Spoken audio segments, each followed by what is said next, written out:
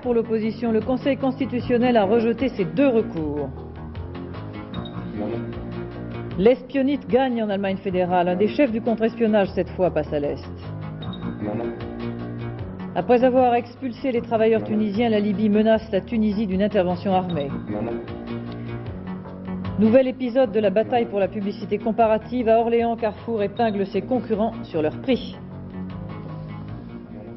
Mesdames, Messieurs, bonsoir. Nous l'avons appris il y a tout juste une heure, le pilote du LM Ouest allemand, Joachim Krenz, s'est tué en fin d'après-midi à Millau, dans l'Aveyron, dans une épreuve du championnat du monde. Il était d'ailleurs en tête de ce championnat. FR3 Montpellier vient à l'instant de nous envoyer son reportage sur cet accident. Dominique Champeau.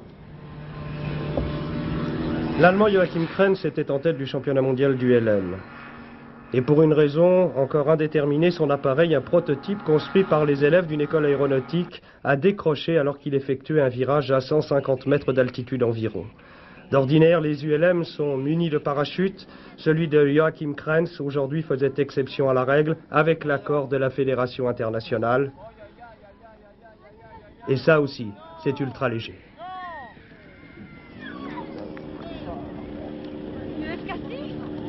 Le FK6 C'est lequel Le FK6. C'est celui-là. Après un mois de polémique, le Conseil constitutionnel vient de donner tort à l'opposition sur les deux recours qu'elle avait déposés à propos de la loi sur la Nouvelle-Calédonie. Une décision dont le Premier ministre Laurent Fabius s'est réjoui dès ce soir. Cette décision apporte un désaveu catégorique aux personnalités qui, tout récemment, avaient cru pouvoir attaquer de façon parfois violente cette loi et la procédure suivie par les pouvoirs publics. Les élections en Nouvelle-Calédonie vont maintenant pouvoir avoir lieu au nom même de l'intérêt général. Je souhaite que chacun travaille désormais à ce qui doit être l'objectif de tous, l'ordre, le dialogue, la paix et le développement du territoire. Les saisines du Conseil constitutionnel par l'opposition ont porté sur deux points. Un, le nombre de conseillers régionaux en Nouvelle-Calédonie et deux, le recours du chef de l'État à l'article 10 pour convoquer le Parlement en session extraordinaire. Fernand Tavares. Tous les membres du Conseil constitutionnel étaient présents. Neuf conseillers élus pour neuf ans, six d'entre eux ont été nommés avant 1981 par Valéry Giscard d'Estaing, Edgar Faure et Alain Poher, trois autres après 81 par François Mitterrand et Louis Mermaz. Il y a 15 jours, la décision prise par la haute juridiction de déclarer non conforme l'article de loi relatif à la représentation électorale en Nouvelle-Calédonie avait été vivement critiquée au sein de la majorité gouvernementale. Ceci explique qu'en début de séance, un conseiller glissait dans l'oreille de son voisin Il faut orienter le débat vers une dépolitisation de l'affaire. C'est donc dans cet état d'esprit que les neuf sages ont statué. Dans l'explication des décisions rendues, le Conseil déclare que l'objet de son contrôle est non de gêner ou de retarder l'exercice du pouvoir législatif, mais d'assurer sa conformité à la Constitution. Pour ce qui concerne le nombre de représentants de la région de Nouméa, le Conseil indique que représentation démographique ne veut pas dire nécessairement représentation proportionnelle à la population.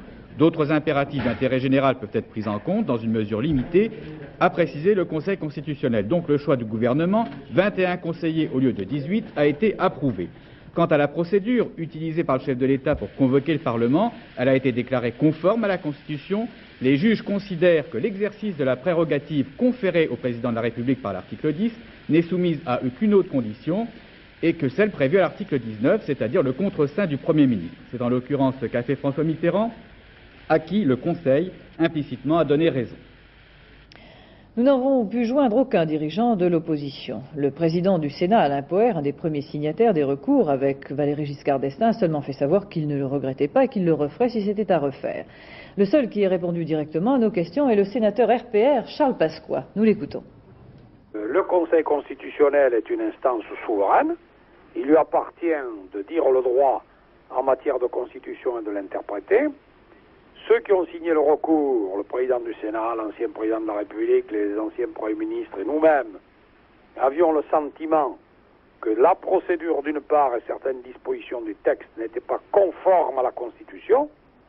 Le Conseil constitutionnel a tranché, maintenant nous en prenons acte. J'ai entendu tout à l'heure la déclaration de M. Fabius au cours de laquelle il, déclarait que, après avoir fait un peu de triomphalisme, que le dialogue s'engage, que l'ordre euh, soit euh, respecté, etc. Je voudrais simplement dire que ça fait partie des responsabilités du gouvernement. Grâce au Sénat, chaque bureau de vote va être présidé par un magistrat. C'est une garantie. Mais encore faut-il que les électeurs puissent se rendre jusqu'au bureau de vote. La décision du Conseil constitutionnel, Fernand Tavares, mérite quelques éclaircissements parce qu'elle va faire jurisprudence. Alors on a cru comprendre que l'opposition déposait euh, le recours en pensant à l'éventuelle cohabitation d'après mars 86 déjà.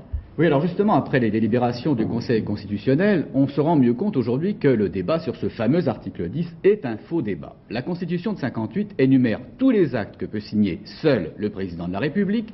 Ils sont définis à l'intérieur de huit articles. L'article 10 n'y figure pas. Les juges rappellent ce soir que pour être applicable, la seule initiative du chef de l'État n'est pas suffisante, il faut qu'elle soit en effet approuvée par la signature du Premier ministre.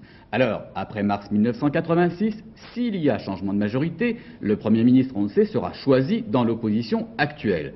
Si le nouveau chef du gouvernement est en désaccord avec François Mitterrand sur l'utilisation de cet article 10, eh bien, il lui suffira de refuser de signer. On voit donc que ce problème n'en est plus un ce soir. Bon, alors l'autre recours maintenant, celui qui concerne le mode de représentation électorale.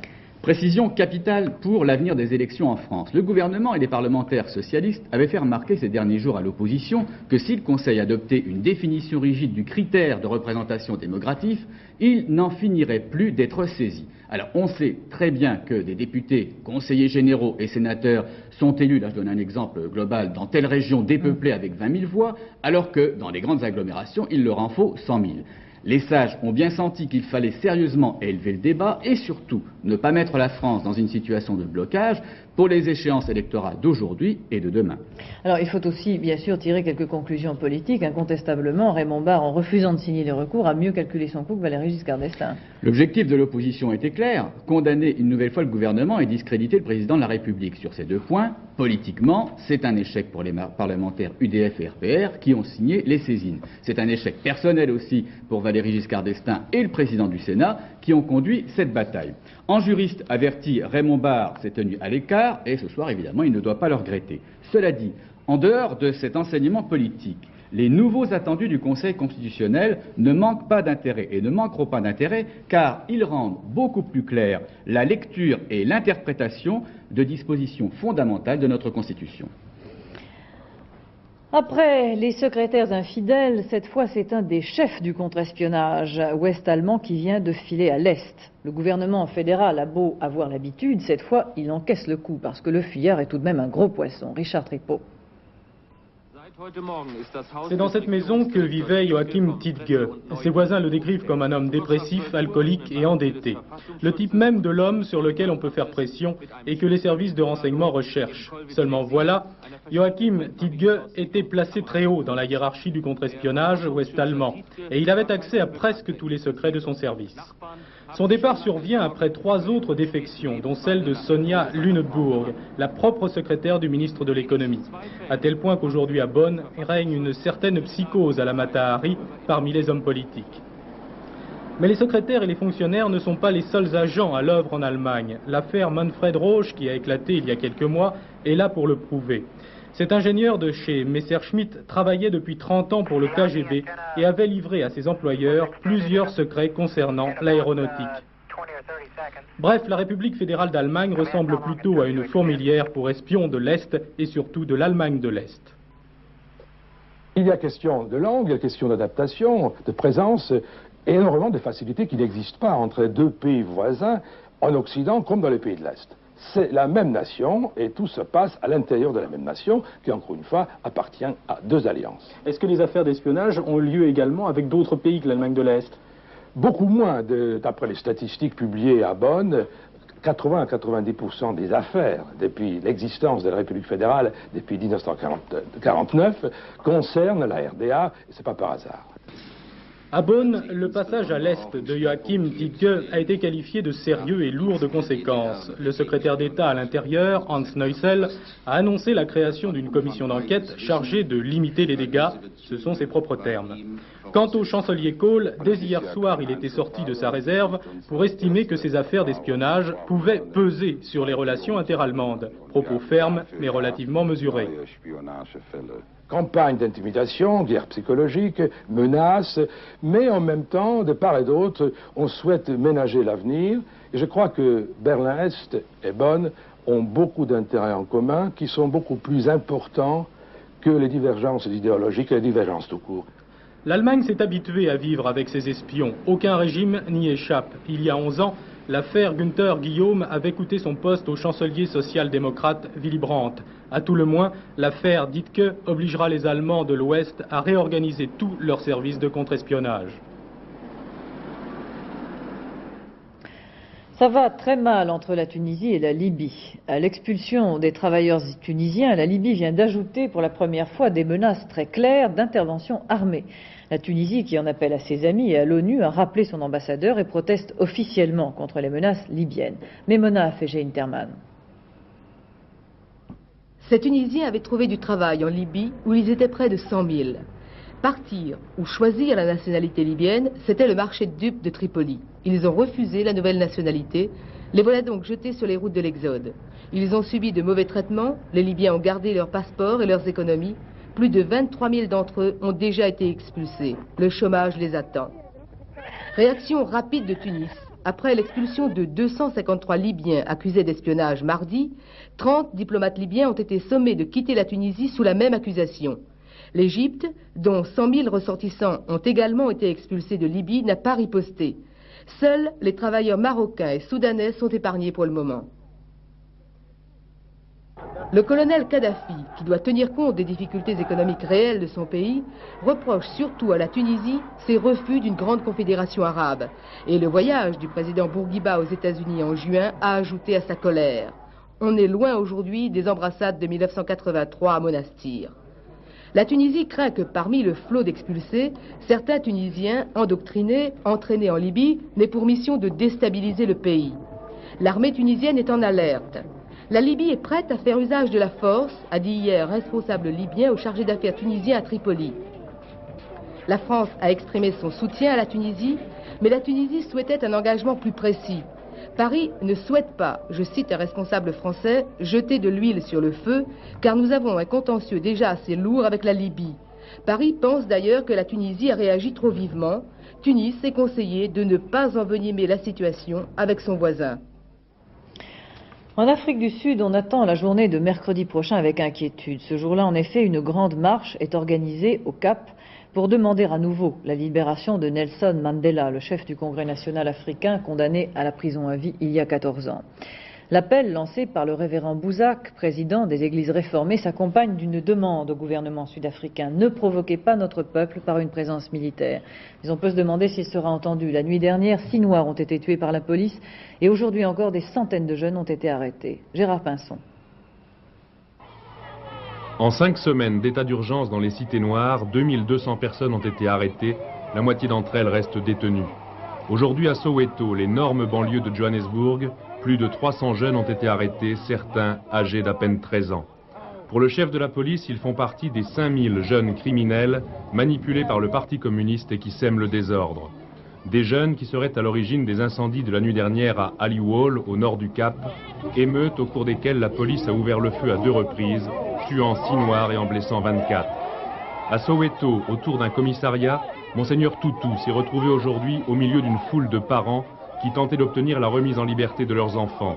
Situation inconfortable pour le prix Nobel de la paix, qui lui aussi, bien sûr, s'associe à la grande marche de mercredi prochain au Cap pour la libération de Mandela, en priant Dieu qu'elle n'entraîne pas de nouveaux morts en Afrique du Sud.